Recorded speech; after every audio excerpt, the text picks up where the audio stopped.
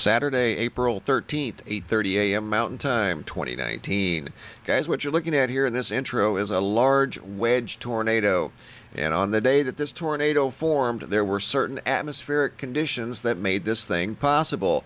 We're going to take a look at some areas today where this could be a common scene across the landscape, especially in parts of Louisiana, Arkansas, Texas, Mississippi, Tennessee, Oklahoma, Alabama, parts of Missouri, Illinois, and Indiana later on this afternoon and this evening. But what you're looking at here is a new map just put out by the Weather Prediction Center from NOAA, and you can see highlighted in red that's an area of heavy rain, flash flooding possible today.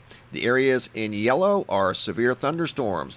And inside that severe thunderstorm area, in fact, all of this area of red and yellow, there's the potential for severe weather today with regard to large hail, high winds, and even tornadoes. The deck is heavily stacked in favor of some in some cases even large wedge tornadoes. I'll show you what I mean here in just a minute. But one parameter that's measured that is used to predict the possibility of tornadoes is known as helicity, and that's what you're looking at here at Ventusky.com. This dark burgundy is the helicity in the atmosphere, and it's heavily, heavily in favor of the formation of tornadoes in all of this burgundy area.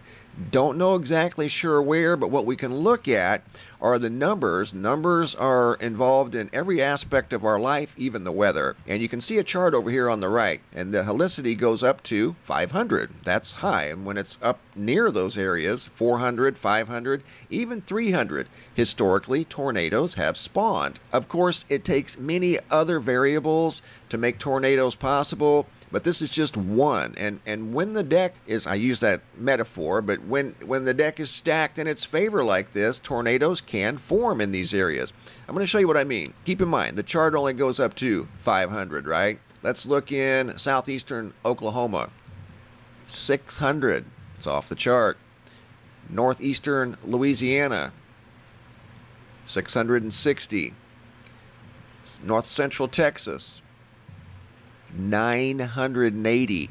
Conditions are more than favorable, at least with regard to helicity. And helicity, if you look at a page here at NOAA, it explains what the SRH is, the Storm Relative Helicity, and it's a measure of the potential cyclonic updraft rotation in a particular supercell. And that's one thing that they've noticed a common trend when they see large tornadoes form, the helicity was very high in those cases.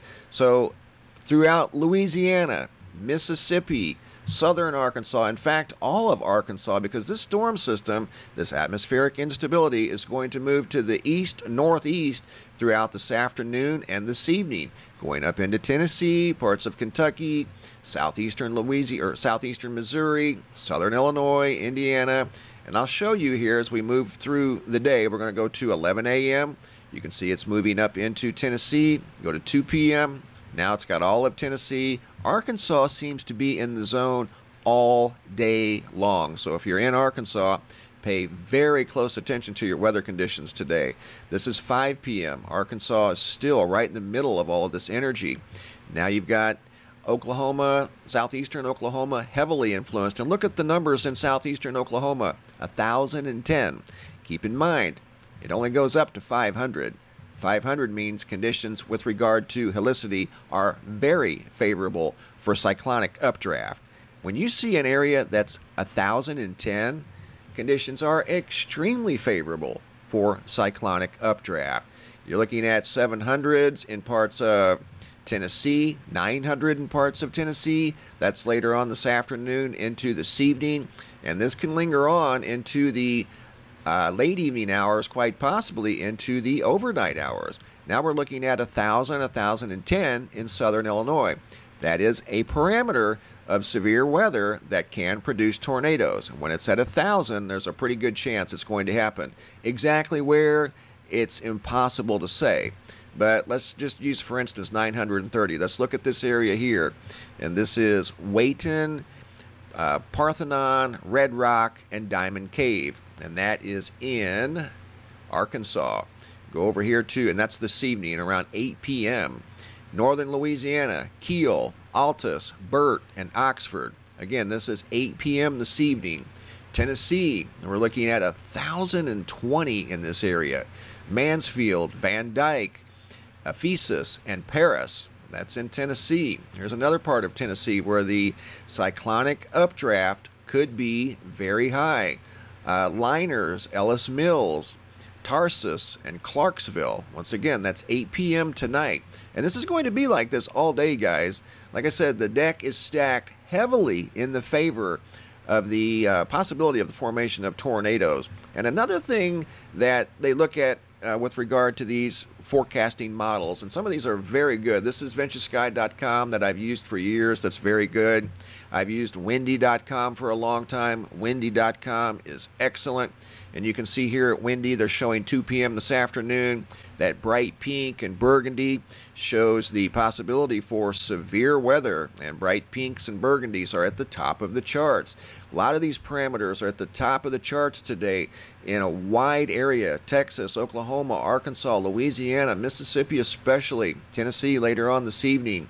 But especially right now, or at least around lunchtime in Louisiana, you're looking at severe storms with high winds, very large hail. Some areas looking at hail in excess of three inches. Just an incredible day as far as severe weather is concerned. Here at weathercharts.com, you can see Saturday the 13th, and this is around lunchtime. Once again, you can see Arkansas, Louisiana, uh, parts of East Texas, southeastern Oklahoma. You guys are right in the mix of that orange and burgundy. That's severe weather of many different uh, varieties tornadoes, high winds, heavy rain. Some areas could see two, three, four, even six inches of rain today.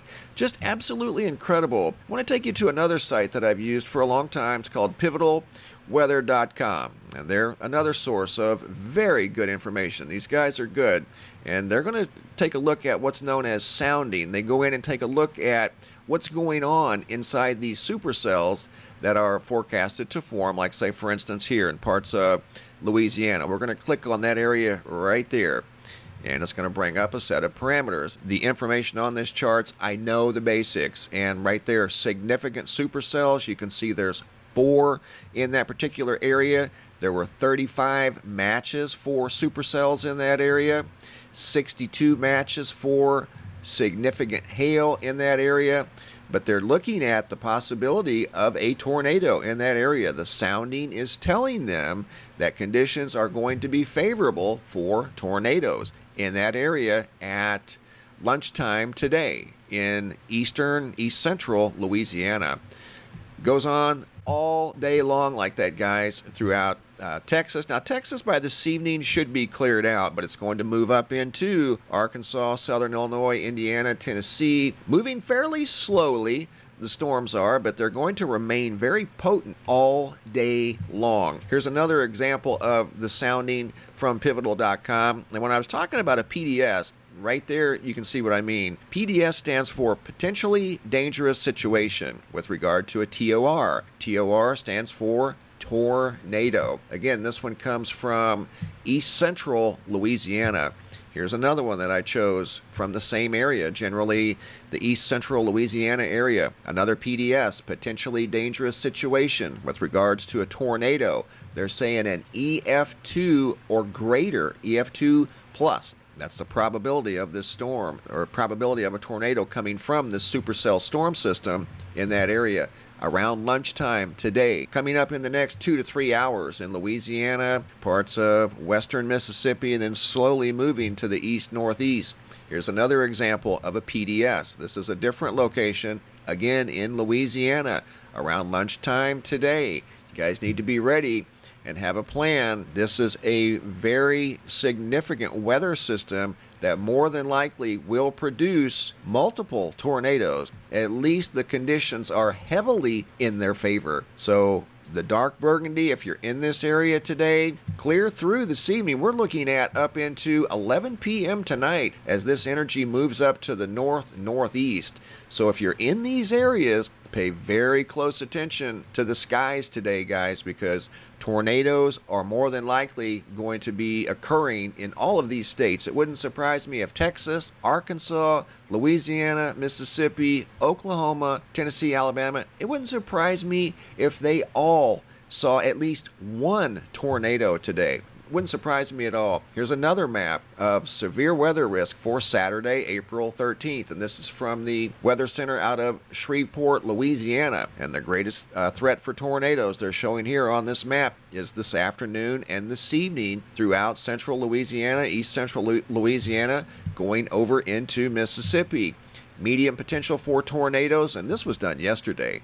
Golf ball to tennis ball size hail, Wind speeds of 70 to 80 miles per hour are going to be quite common throughout the state of Louisiana today. So, big heads up, guys. This storm and the storm system is occurring today. It's going on right now as I do this video. Looking back at the large storm system that just rolled through the central U.S., the Great Plains, there's that giant storm.